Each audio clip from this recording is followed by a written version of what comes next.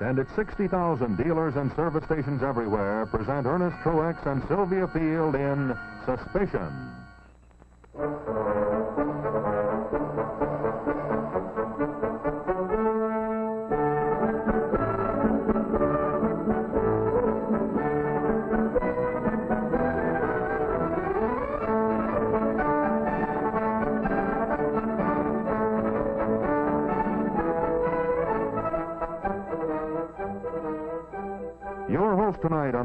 Theater is the maker of the sensational wide gap Autolite resistor spark plugs. The spark plugs acclaimed by car owners from coast to coast. From bumper to bumper, Autolite makes over 400 products for cars and trucks, many of which you see here. Yes, from bumper to tail light, you're always right with Autolite.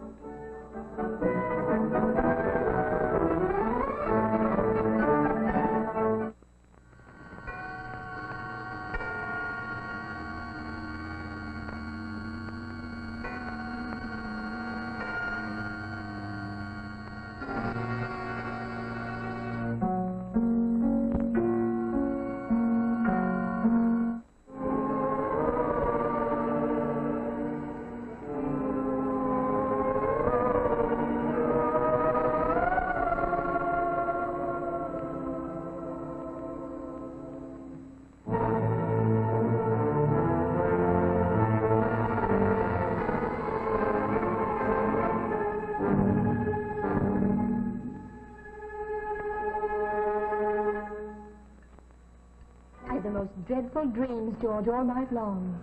I remember trying to wake up, but I couldn't get my eyes open.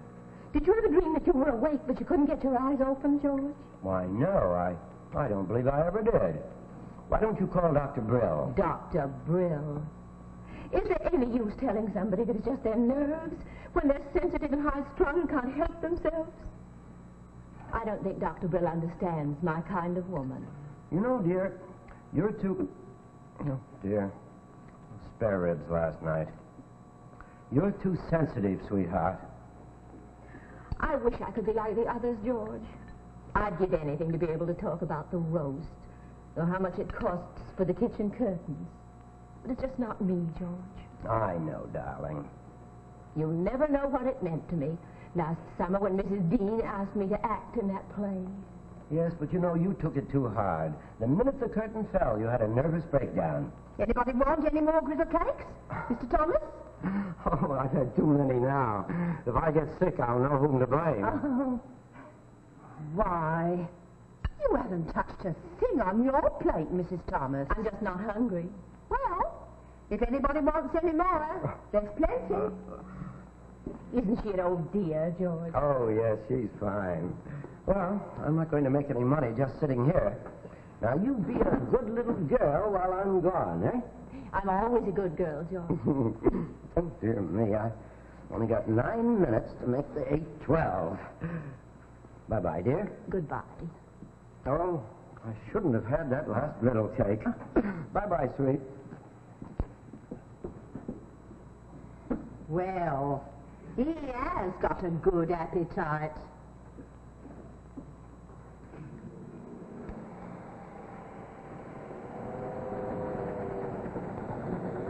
You like those Brazilians? What are they up to now? They thought up another new dance. And I just last week learned the samba.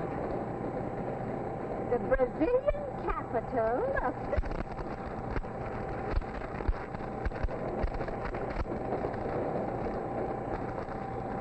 Just doesn't know any better.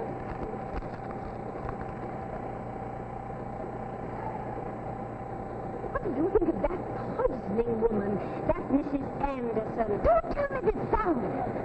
Found her. The police. All the police can say is that she's somewhere in the vicinity, and she may apply for a position as a cook. A cook, now I ask. But wasn't she supposed to commit suicide or something? I vaguely remember something about a tweed coat floating on the bay. Oh, don't you believe it? That kind never commits suicide. I'm sure I don't know what we pay the police for. One whole month now since they found that nice old man stretched out on the linoleum. I heard that when somebody dies of arsenic poisoning, the soles of their feet get all dry and curly. Is that true?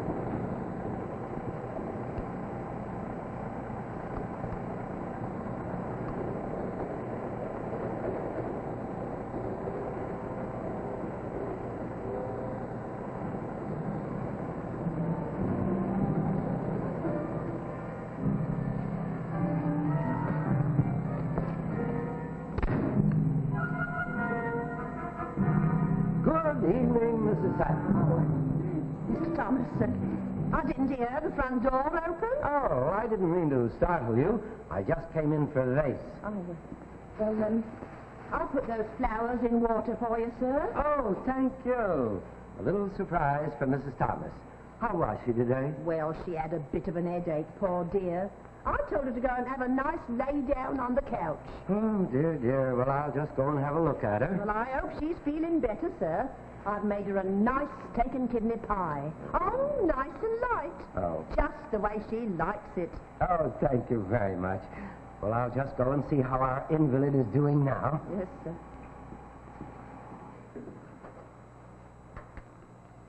Hello, sweetheart. Hello, dear.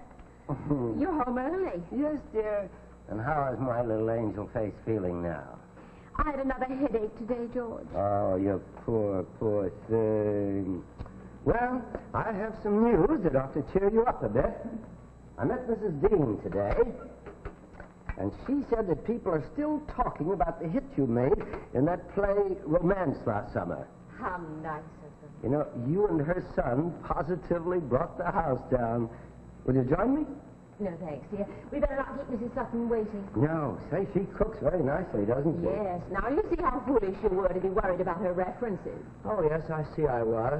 Still, to be on the safe side, you know, you're supposed to. I uh, know. But if she'd been looking after a widowed mother all these years, she couldn't very well have references, could she? No, but it wouldn't have done any harm to speak to the minister of her parish about Well, it. what would the minister know about her cooking? After all, it's the cooking that counts. Dinner's quite ready to be served, ma'am. I don't think that pie ought to stay in the oven any longer. Thank you, Mrs. Sutton. George, did you bring those flowers for me? Why, of course, darling. Thank you, dear. That's very thoughtful.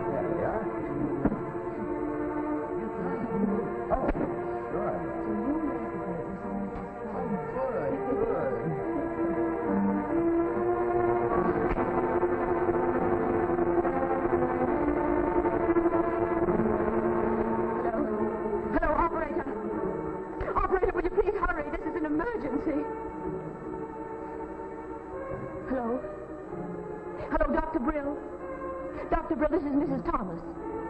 My husband's in dreadful pain. Can you come at once? I don't know. Thank you.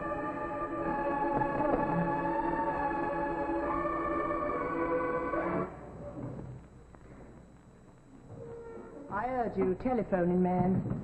Is there anything I can do to help? My husband's awfully sick, Mrs. Sutton. Is it his stomach? If I only knew what to do. He's in dreadful pain. Perhaps I ought to get him some hot milk. Hot milk might ease him a little. Well? Hot milk always used to help my poor mother when she was ill. Mrs. Sutton. Yes? Maybe you better not. Maybe we better wait till the doctor gets here. Well, just as you say, ma'am. But please be sure and call me if anything happens. If anything happens, I want to be there.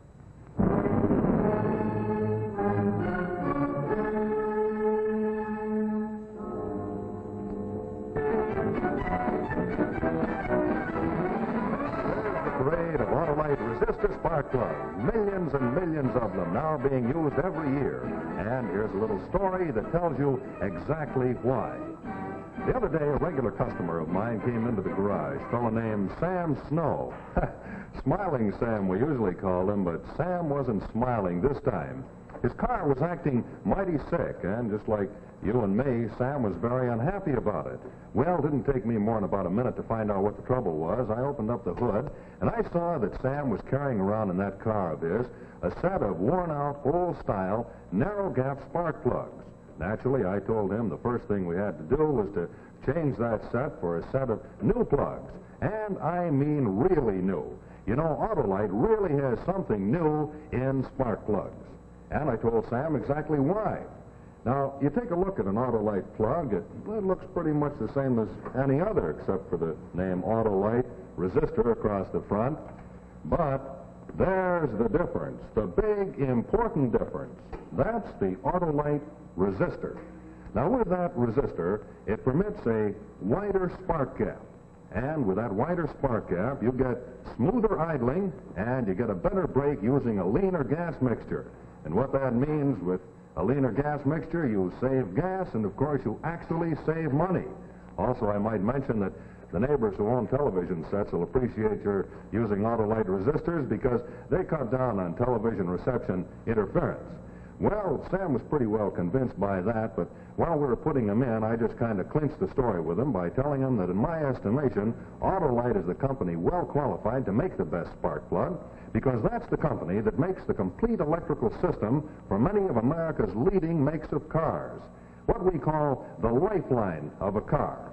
The lifeline of a car is the electrical system, and the Autolite system is put together like a team, one part working with another. That's what we mean by ignition engineered, and that's what we mean when we say that Autolite resistor spark plugs are ignition engineered. Well, we went ahead and put the set of Autolite resistors in Sam's car, and you've guessed the rest. When Sam and the car left, why, they were both smiling once again. And you'll be smiling too under similar circumstances. Don't forget, next time you need plugs, go to your dealer and ask for them by name. Autolite resistor spark plugs.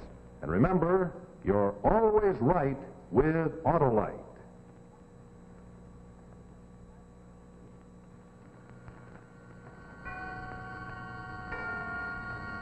And now Autolite brings you the second act of tonight's suspense presentation. Ernest Truex and Sylvia Field in Suspicion.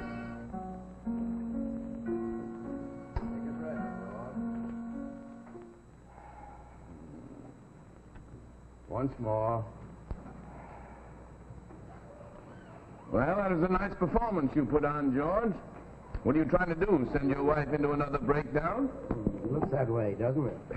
I said to him, I said, George, please come to sleep. But he said, just a few more minutes. I have one more chapter.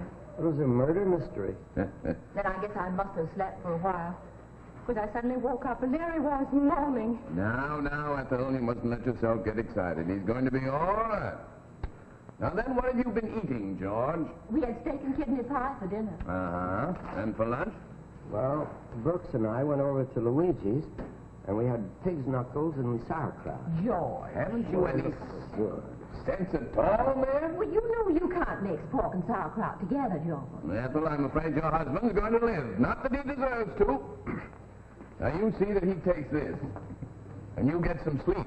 I don't want to see those black rings under your eyes. Yes, Dr. Brill. Never mind the door. I'll show myself out. Good night. Good night, Doctor. Good night, George. Good night. Well, I hope you're satisfied, George Thomas. You nearly scared me to death. Oh, I'm sorry if I worried you, sweetie. But you ought to know that you can't kill your old husband. I... What's that? What? I thought I heard something in the hall.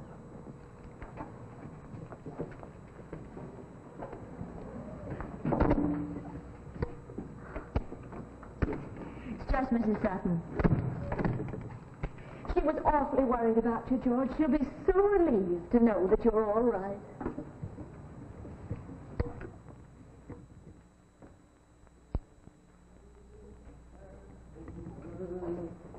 Oh, nice too. Hmm. Hmm. Ethel. Ethel. Yes, George. Have you seen my trowel anywhere? On earth should I see your trowel? Well, you're not going to work in the garden now, are you? Yes, it's a wonderful day for it. Well, don't stay out too long. Mrs. Dean's coming for tea. Oh? You didn't tell me. Didn't I? No. Well, I must have forgotten. Yes, Mrs. Dean's coming, and so is her son. Oh, oh, that's nice. I'll have to clean out this whole mess one of these days. Why is it The thing you look for is always at the. What's this? Oh, for Pete's sake. Where's the car? Well, that was pretty stupid of you, old boy. Even the tiniest grain under your fingernail can. Uh... I'd better warn Mrs. Sutton, too. Oh, you don't mean it. You can't mean it. It's too preposterous. It's not at all preposterous, my dear. I said to them right out. If the community theater is going to produce Camille, there's only one person to play the part, and that's Ethel Thomas. I think your mother's flattering me, Bob. She can't mean it. Why, no, of course she means it. Well, if I'm to play Camille, who is to be Armand? You, Bob? Well, I. I don't know. I uh, wanted to talk to you about that, Ethel. I don't think I ought to let Bob do any more plays this winter. He's fallen so far behind in his law studies. I think there must be a girl someplace. Where's George? Oh, he's probably still out digging in the garden. Ethel, did you know they dug up the father? What father? The poisoning woman's father. Oh, how dreadful. The terrible thing is that nobody knows what she looks like. She could be anybody. She could be a waitress in a restaurant, a maid. She could be your own cook. Oh, what a dreadful thing to say about our poor Mrs. Sutton. Well, she doesn't look as if she could feed poison to a fly.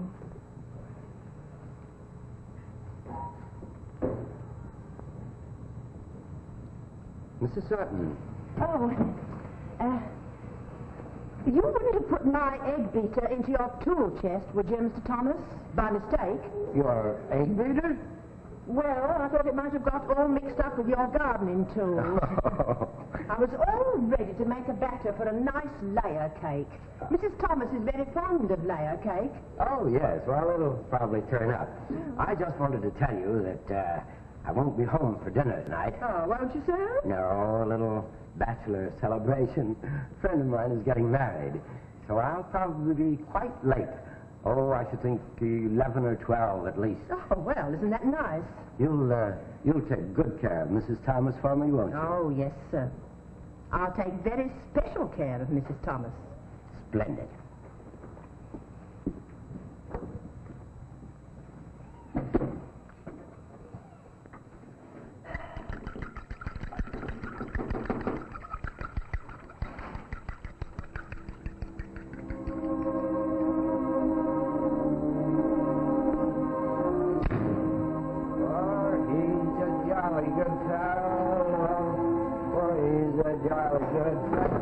Dear, I beg your pardon.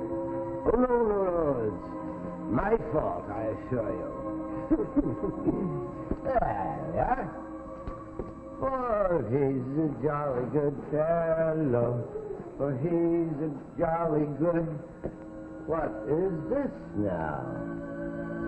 Uh-huh. Mm-hmm. That's very thoughtful of you, Mrs. Sutton.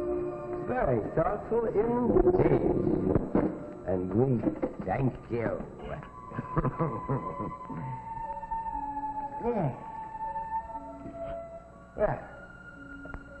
here's to you, Mrs. Sutton.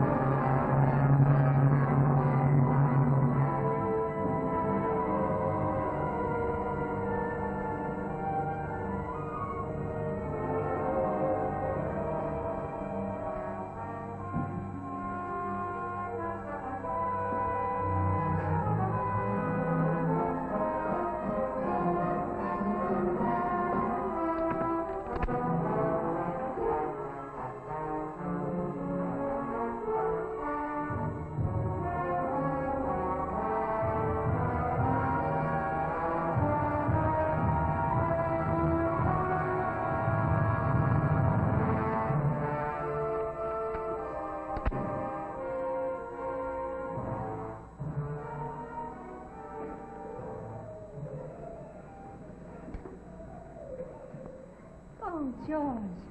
Did you have a good time at the party? Oh, yes. Oh, yes, I, I had a wonderful time. That's nice. Did Mrs. Sutton leave something hot for you? She said she would. Oh, yes, she did. But I, I only drank a little. I wasn't thirsty. Oh, it was that kind of a party, was it? Yes? Oh, do come to bed, George. I'm awfully sleepy.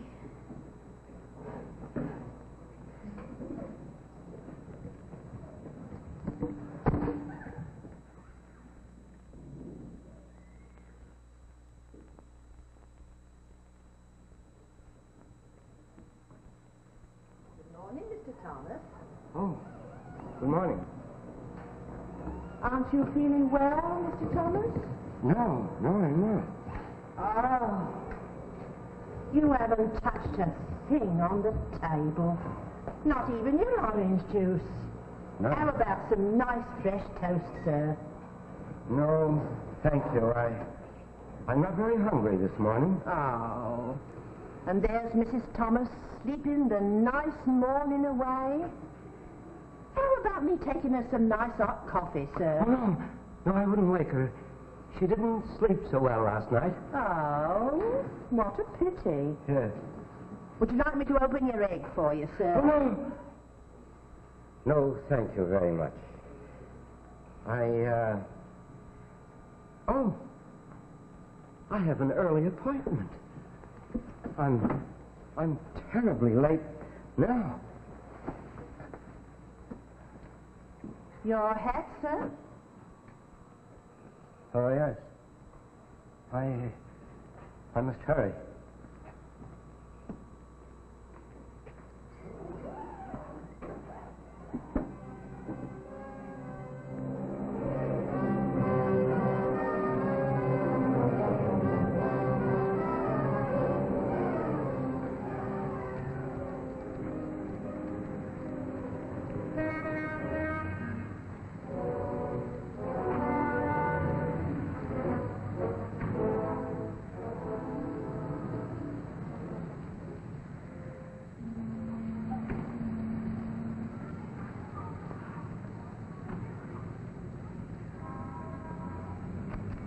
Why don't they start?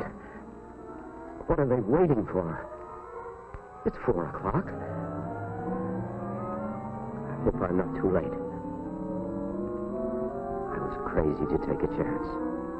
I should have fired her there and then. Why didn't Ethel answer the phone? Where was she? Oh, please, don't let me be too late. Good.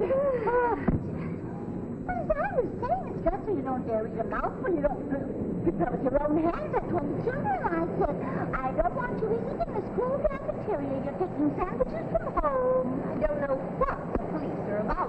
They dug up three bodies already. Just teeming with arsenic. Where the soles of their feet were all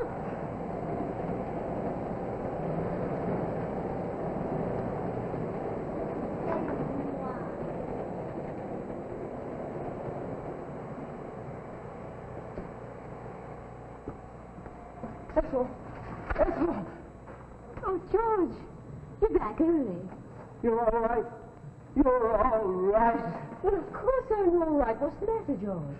There's something that I must tell you. Well, what is it? Well, you're not to be excited, and you're not to be frightened. The police have been called for. The police? Oh, George, what is it? Tell me at once what's happened. Well, it's something quite unpleasant. Mrs. Sutton. Oh, George, for pity's sake. Oh, man. Oh, I beg your pardon, sir. I didn't know you were home. What is it, Mrs. Sutton? They caught her, Mrs. Thomas. Caught who? The poison woman. They did? When? Where? It was a young man at the grocer's from Amagansett, and they've caught her. Isn't it wonderful? Isn't it wonderful, George? They've caught Oh, her. I was so wild to think about her running around loose. She got herself a job as housekeeper to two elderly ladies. They found the poison on her. Well, if you'll excuse me, ma'am, I want to run up the block and tell my girlfriend. Oh, she's been ever so worried. Ethel, that, that cocoa last night, Yes? I had it analyzed. How dared you?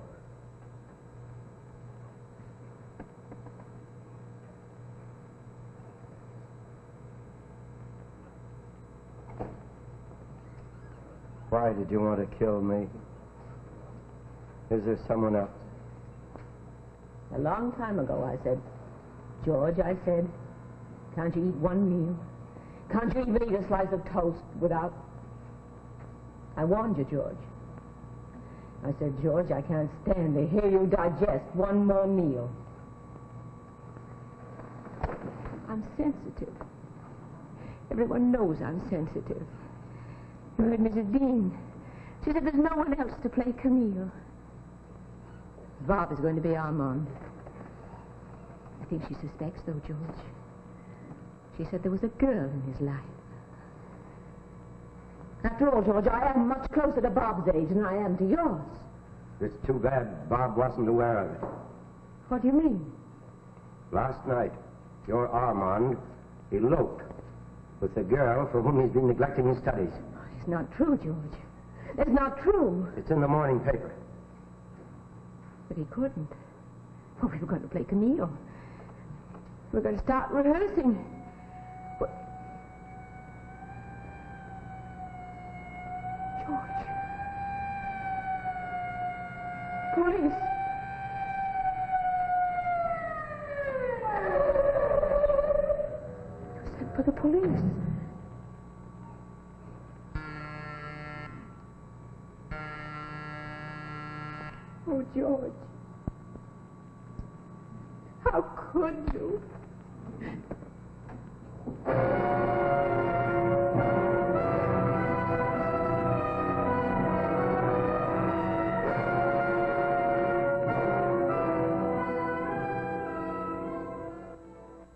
Thank you, Ernest Truex and Sylvia Field, for a wonderful performance.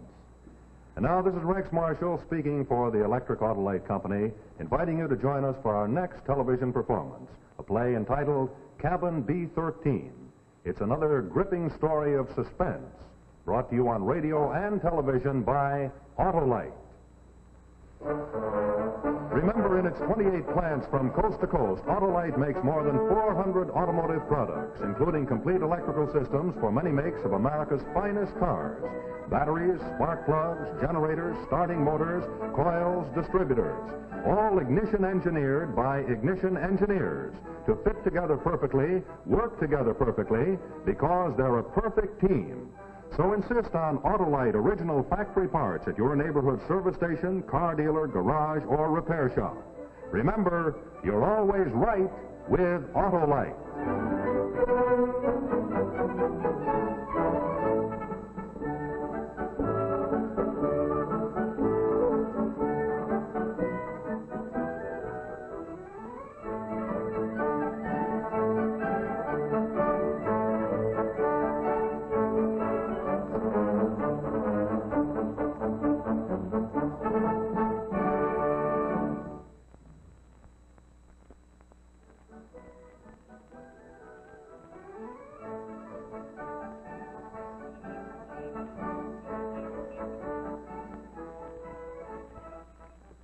This is CBS, the Columbia Broadcasting System.